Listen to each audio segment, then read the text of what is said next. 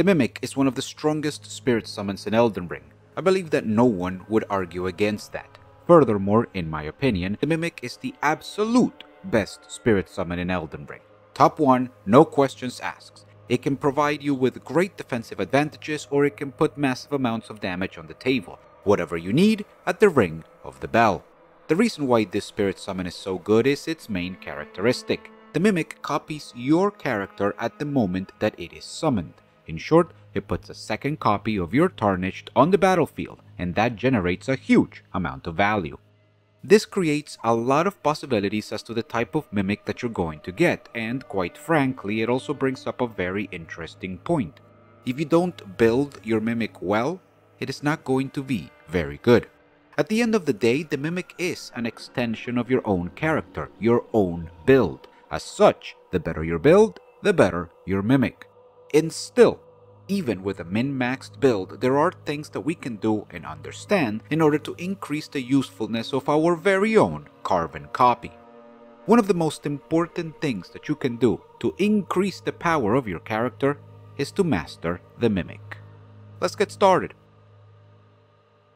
Mechanically speaking, the Mimic is a spirit summon that we can find within the world of the lands between. Once we find it, we can summon it to help us during the battles where spirit summoning is allowed. The game goes on to explain that the Mimic conjures the form of the summoner, but does not imitate their will, meaning that even if the Mimic is a copy of us, it is neither under our control nor will it behave like we do. Regardless of how limited it may actually be, this is a separate entity with its own sentience and decision-making process.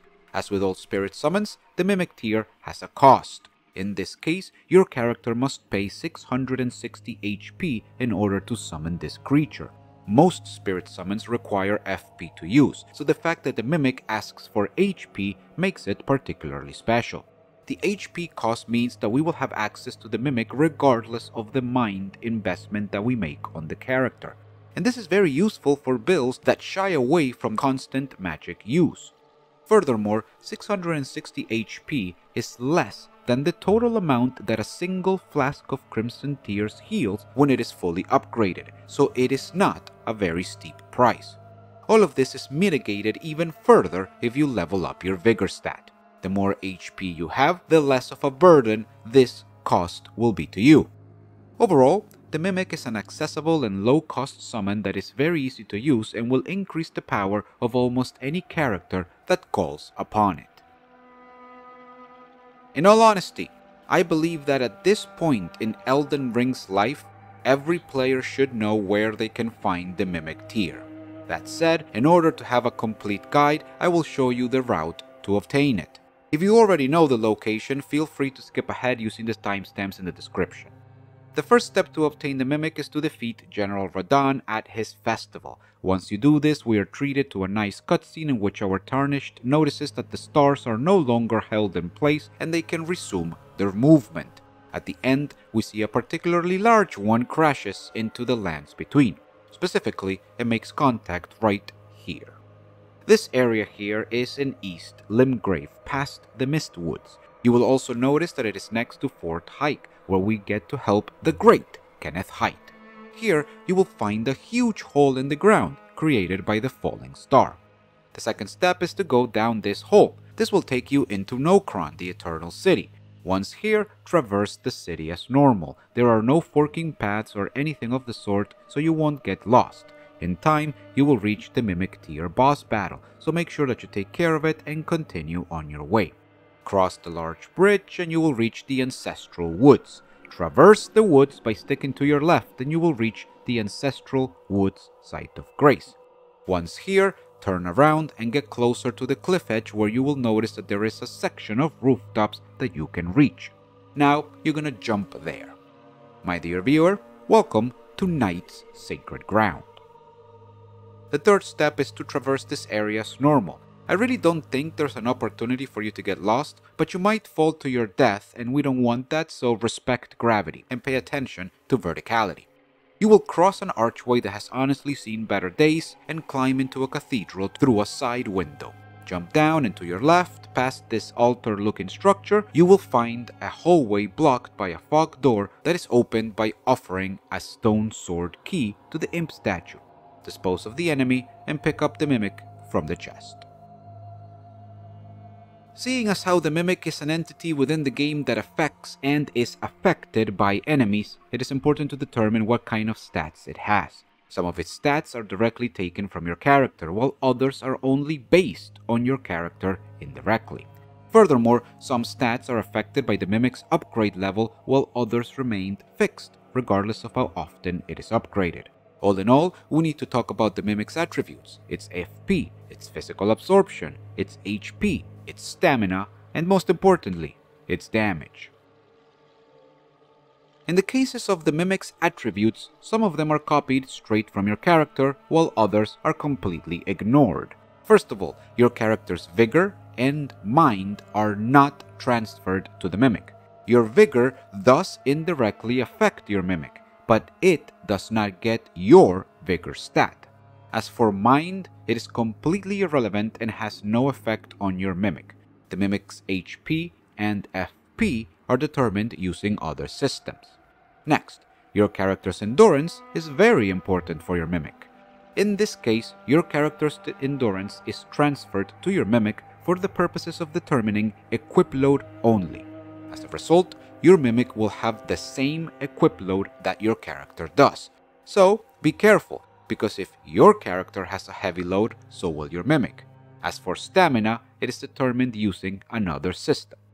And then we have to talk about the attributes that govern damage and requirements. These are strength, dexterity, intelligence, faith, and arcane.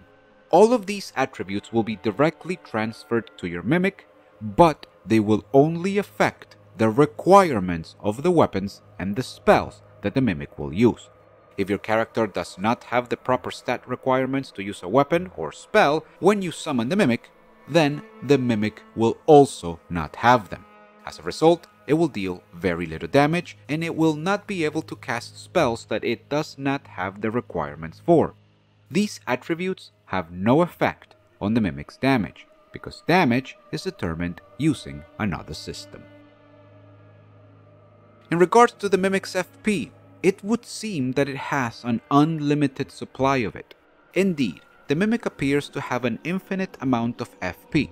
Throughout my testing, no matter how many enemies the Mimic fought, and no matter how long it fought for, it simply kept on casting spells with no interruptions. In every single encounter that I tested, the enemies died, and the Mimic kept casting spells at their lifeless bodies. If there is an FP limit, I have not reached it. As for the Mimic's damage absorption, we need to shift our attention to the armor that we are wearing when we summon it.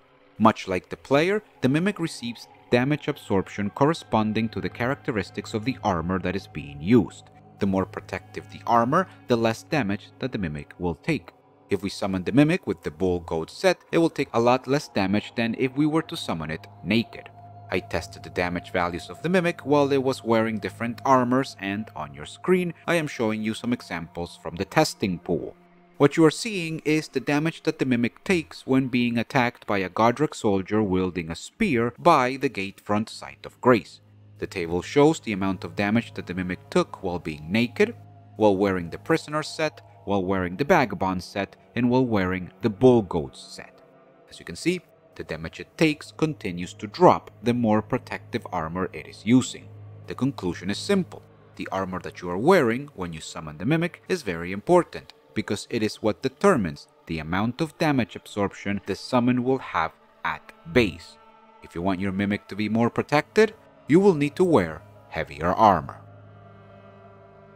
Moving on to the Mimic's HP, we find that it is a set value based on the relationship between the mimic's upgrade level and the amount of HP that your character has when you initiate the summon. To put it simply, the more HP that you have, the more HP your mimic will have.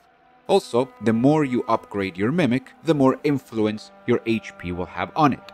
The specific relationship is detailed in this chart. At plus 0, meaning no upgrades, the Mimic will have the same amount of HP as your character when you summon it. If your character has 500 HP, so will your Mimic. This is represented by the HP multiplier of 1. From here, the more you upgrade your Mimic, the higher this HP multiplier is. Once you upgrade the summon to plus 10, the maximum level, the HP multiplier is 3.3, meaning that at plus 10, the Mimic will have more than triple the amount of HP that your character has. And so, the conclusion is simple. The more HP that you have, the more HP the Mimic will have. My dear viewer, if you want to have a long-lasting Mimic, then you need to level your Vigor. That being said, Vigor is not the only determining factor. If you're using the talismans Erdtree Favor and Crimson Amber Medallion, which both boost your character HP, the resulting HP from these increases are also applied to the Mimic. On the other hand, HP boosts that your character receives from the runes of the demigod, meaning things like Morgott's rune or Radahn's rune, do not apply to the Mimic. For example, at 60 Vigor, with the Erdtree Favor plus 2 and the Crimson Amber Medallion plus 2 equipped, your character will have a total of 2134 HP. If we were to summon a plus 10 Mimic with this amount of HP, then we need to apply the HP multiplier of 3.3. The result is that 2134 character HP multiplied by 3.3 is a fantastic total Mimic HP of 7,042 points. This is one hell of a healthy boy. As for the Mimic's stamina, it follows a very similar system to the one used by the Mimic's HP. It is also a set value, but this time it is based on the relationship between the Mimic's upgrade level and the amount of stamina that your character has when you initiate the summon. To put it simply, the more stamina that you have, the more stamina that your Mimic will have. Also, the more you upgrade the Mimic, the more influence your stamina will have on it. This specific relationship is detailed in this chart. At plus 0, meaning no upgrades, the Mimic will have the same amount of stamina that your character has when you summon it. If your character has 100 stamina, so will your Mimic. This is represented by the stamina multiplier of 1. From here, the more you upgrade your Mimic, the higher this stamina multiplier is. Once you upgrade the summon to plus 10, the maximum level, the stamina multiplier is 1.488, meaning that at plus 10, the Mimic will receive almost 1.5 times the summoning character's stamina. And so, the conclusion is simple. The more stamina you have, the more stamina the Mimic will have. In this case, leveling up your endurance will provide your Mimic with more stamina. That being said, endurance is not the only determining factor. If you're using the talismans Erdtree Favor and Viridian Amber Medallion, both which boosts your character's stamina, the resulting stamina from these increases are also applied to the Mimic. On the other hand, stamina boost that your character receives from the Rune of the Demigod, meaning the Radahn's rune, do not apply to the Mimic. Personally, I do not think that the Mimic's stamina is very important, I would not specifically level up my endurance in order to get more stamina for this summon. That said, it is impossible to ignore that more stamina definitely benefits a Mimic that is using a Great Shield. They are actually very good at blocking attacks, so it is a good idea to provide the Mimic with the tools to be able to block more. It seriously increases the summon's defensive power. The last Mimic stat that I want to touch is its damage. How much damage does the Mimic do? Well, it's actually very simple once we understand how it works. Much like the Mimic's HP and stamina, the amount of damage that it deals is a direct correlation between the Mimic's upgrade level and the amount of damage that the player does. To put it simply, the more damage that you do, the more damage the Mimic will do. Specifically, it follows this chart. At plus 0, the Mimic will deal 25% of the damage that the player does. For you to understand better, if your character deals 100 damage with an R1, then the Mimic will deal 25% of that, meaning 25 damage, with the same attack.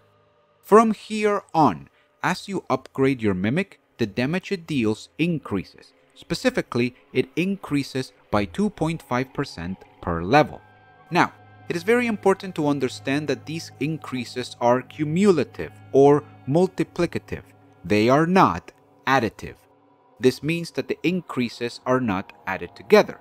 Instead, they are multiplied into the total value of the prior increase. As a result, the Mimic gets a higher damage increase than it would if we were to just add all of these bonuses together.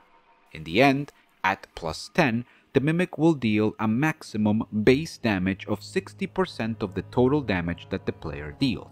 You may think that 60% of player damage is not a lot of damage.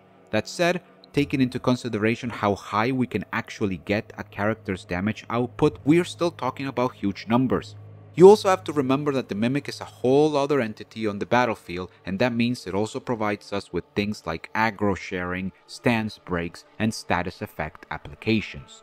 It is also important to understand that this damage applies to any spell that the Mimic uses as well. It is not just melee attacks. Overall, it represents a big increase to the battle capabilities of our build, and that, my dear viewer, is extremely valuable. Besides stats, the Mimic will also inherit any and all equipment that the player character has active at the moment that it is summoned. This includes weapons, armor, talismans, memorized spells, arrows, and consumables. This is simple to understand, but there is a lot that we can do with these conditions. For example, when it comes to weapon, the Mimic gets a perfect copy of the one that the player uses. This includes Ash of War and any potential special effects. The perfect example is the Blasphemous Blade, because the Mimic will have access to the Ash of War, Taker's Flame, and that is a fantastic tool to have the summon deal a lot of damage, but also heal itself. A similar situation happens with armor. As we saw earlier, the Mimic will be summoned with the same armor that the player is wearing, including its defenses and its weight. A Mimic wearing heavier armor will take less damage. Talisman selection is also very important when it comes to summoning the Mimic. We already explained that the talismans that increase HP or stamina will also affect the Mimic's HP and stamina, but we can also increase its defenses with the Dragon Crest Great Shield talisman. There are also some other strategies that we can take advantage of, like equipping Shabriri's Woe before summoning the Mimic, and then swapping it for another talisman after we do the summon. In this way, the Mimic will have this talisman active and it will be more likely to draw aggro. The bottom line is simple. Whatever talisman effect you're taking advantage of will also apply to the Mimic at the moment you ring the bell. As for spells, the Mimic will have access to every spell on your list, whether they are sorceries or miracles, offensive spells or defensive. If they are in your attunement slots, the Mimic will have access to them. This obviously opens the possibility of setting up a caster Mimic, but it is also important to understand that the Mimic will cast any spell on this list almost randomly. It does not choose the right spell for the right moment it simply chooses one and fires away. Finally, let's make a quick mention of consumables. The Mimic will have access to all of the consumables that you have equipped to your tool belt. There are many slots to fill with many different consumables and the Mimic has access to all of them. My favorite consumables to have ready are sleeping pots, freezing pots, boiled crab, and warming stones. This gives the Mimic access to the sleeping condition, the frostbite condition, as well as the capability to further increase its defensive power and provide us with some light healing. But that is not the limit. You can equip a Baldachin's Blessing and create an unstoppable monster, or you can give some perfumes to provide support for the player. Consumables are probably one of the most customizable parts of the Mimic next to spells. You would be surprised how much the summon changes depending on these options. Still, it is very important to remember that no matter what you give the Mimic, it still needs the requirements to use it. If you equip spells that you cannot use or weapons that you cannot wield, the same will happen to the summon. For the Mimic to be able to use it, you need to be able to use it. This sounds obvious, doesn't it? But keep it in mind. For example, if you use a weapon with two hands to meet the strength requirement, there is no guarantee that the Mimic will use the same weapon with two hands. If the Mimic decides to swing the weapon with just one hand, it will not meet the requirements and its damage will be useless. Take this into consideration when setting up your Mimic. There is nothing worse than summoning it and noticing that you wasted the opportunity. Going back in time to the point when Elden Ring was recently released, the Mimic Summon was absolutely incredible. It's still fantastic now, but back then, it was also smart. It would actually make good decisions, attack the proper targets, and use the proper skills and abilities. This made it so that the Mimic could solo a lot of bosses and clear out entire rooms with no issue. Again, it can still do these things, but it used to be so efficient at it that the player could put their controller down and still come out victorious. And then we got 1.03. This patch did two things. It nerfed the Mimic's damage, and it, quote, changed the spirit's behavior pattern, end quote. Unfortunately, this change in behavior was drastic, and the Mimic was lobotomized. The result is that the Mimic went from being really, really smart to being really, really stupid. It went from always making the right decision to always making the wrong one. This, of course, decreases the Mimic efficiency, but it does not make it unusable. Far from it, actually, we just need to pay some special attention to it. In the present, the best way to increase the power of the Mimic is to follow one simple mantra. Less is more. My dear viewer, the less options you give to your mimic, the more profit you will get out of it. For example, if you're making a caster mimic, do not put 10 spells on your list. Put only 3. The more spells that a mimic has access to, the higher the chance that it will cast the wrong one. On the other hand, with only a few spells to choose from, it will use the better option more often. Personally, I like to give my Mimic a great hammer and a great shield. This way, it has access to blocking, it has access to attacking, and it has access to an Ash of War. Just three things. Usually, I want my Mimic to be tanky and provide me with additional stance damage to all of my enemies. All it has to do is rush the target and start hitting it. I will take care of the rest. Since the Mimic has few options to choose from, I never have issues with the summon becoming annoying. Even after the nerf, the Mimic continues to be a powerhouse and, once again, in my opinion, I believe that it is still the best summon in the game. We just need to be a bit more attentive in making sure that it has everything it needs to succeed. With this information, you should have a better understanding on how to optimize the capabilities of your Mimic. You can make a support Mimic, a tank Mimic, a casting Mimic, a berserker Mimic, any kind of Mimic that you want. All it takes is some creativity and some knowledge. After that, you will see the power of your build increase because when there are two of you on the screen, it should be impossible to stop you. In all honesty, the Mimic is the true easy mode of the game because all of this customizability and all of this power leads to the player having almost every option in the game available to them at one time. Personally, I love this thing. It is an extension of my build and that just gives me another thing that I can min-max. That being said, it is still important to remember that no matter how strong the Mimic might be, it will only be as strong as your character. At the end of the day, your build continues to be the one true deciding factor. Thank you very much for your time, and I hope I get to see you on the next one.